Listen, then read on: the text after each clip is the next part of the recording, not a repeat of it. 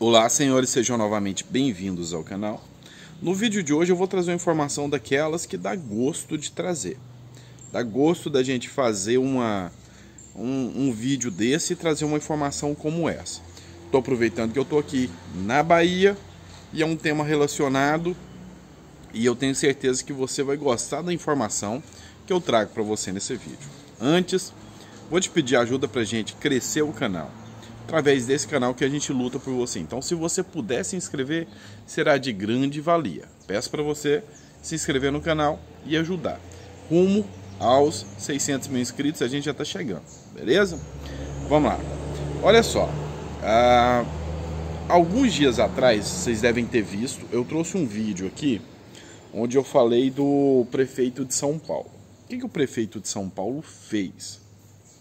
Seguinte, ele conseguiu a reeleição, reeleição, e logo depois, como um tapa na cara do povo brasileiro em si, não só do povo de São Paulo, mas do povo brasileiro em si, nesse momento que o presidente da República fala que o país está quebrado, ele vem, retira direito de aposentados ou direito de vale transporte, ele corta direitos é, de isenções, ele tira isenções de impostos sobre alimentos ele tira isenções de impostos sobre veículos de PCD. E, juntamente com Dória, lógico, né? eu estou falando prefeito e governador. E vem e aumenta o seu próprio salário em 47%. Quem se recorda do vídeo que eu fiz tratando desse absurdo e falando que a gente não vai escalar, a gente vai tentar mudar dentro daquilo que a gente consegue, tentar mudar essa história aí. Fácil vai ser? Lógico que não. Dificílimo mas a gente vai tentar mudar. Pelo menos a gente está fazendo alguma coisa. Se der certo, eu vou deixar um país melhor para os meus filhos. Simples assim. Tudo bem. Mas a gente olha muito pelo lado negativo e vê esse tipo de pessoa que dá até ranço. Pessoas que dão até náusea de saber que, que, que, que enganam o povo e conseguem se reeleger, conseguem voltar para a política. O Dória teve que colocar o rabinho entre as pernas de novo, porque os agricultores do, do estado de São Paulo fizeram manifestação, ameaçaram parar e fizeram um tratoraço. Pegaram seus tratores e foram para a BR, fechar a BR, porque ele reduziu a isenção de CMS sobre produtos, sobre alimentos, e se ia causar uma alta muito grande no preço dos alimentos, e impactar nos agricultores e impactar no povo são Paulo todo e no povo do Brasil inteiro, porque lá exporta exporta muito para vários outros setores do Brasil. Então, é, saber que tem políticos como esse é, é complicado. Mas agora eu quero trazer para vocês a, a história, o fato e o exemplo do Tiago Dias, da Bahia, daqui da Bahia. Em compensação, enquanto tem exemplos maus como esses, e o povo continua colocando lá, o Tiago Dias ele é o prefeito de Jacobina. Olha só, de origem de família pobre, tá? agricultores de família pobre, daqui do estado da Bahia, onde a maioria dos agricultores são pobres, vivem na, na agricultura assim, é, como que eu posso dizer, artesanal mesmo. A maioria são pobres ganhou como prefeito um salário de 15 mil reais. E será que ele aumentou o salário dele em 47%, igual o de São Paulo fez? Não. Ele reduziu o seu salário em 93%.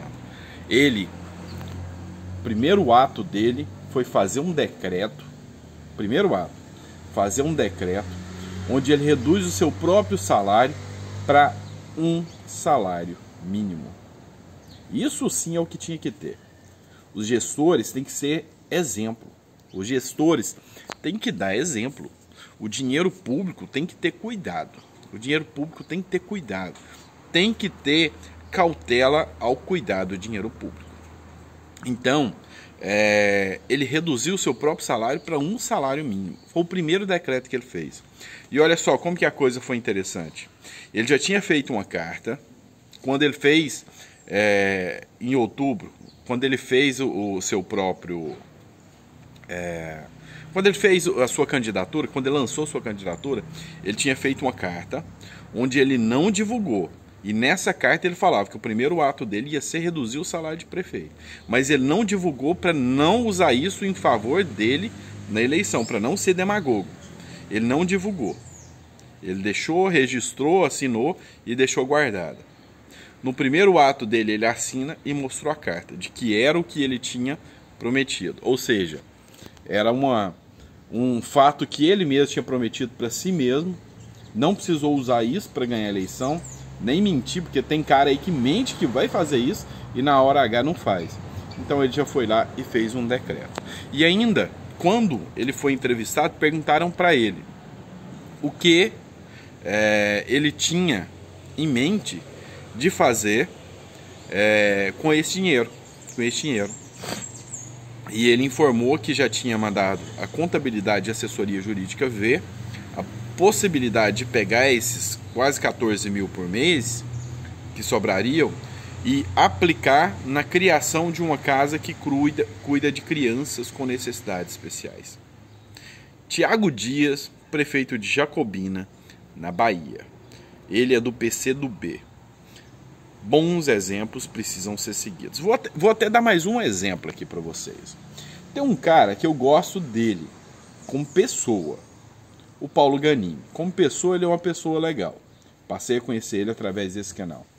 Ele reduziu bastante as verbas de gabinete.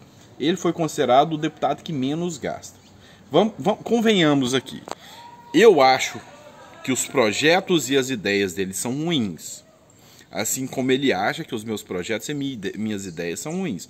Nós dois não pensamos igual, mas ele é um cara que eu gosto dele. Ele também já falou que gosta de mim. É, mas um não gosta da ideia do outro, porque eu vejo que tem que defender as pessoas. Ele acha que tem que defender bancos. Mais ou menos essa história aí. Só que, só que, de certa forma, ele tem esse exemplo aí também. Ele é o que menos gastou, considerado o deputado que menos gastou no ano de 2020. E isso é louvável e a gente tem que reconhecer pequenos detalhes como esse também, tá?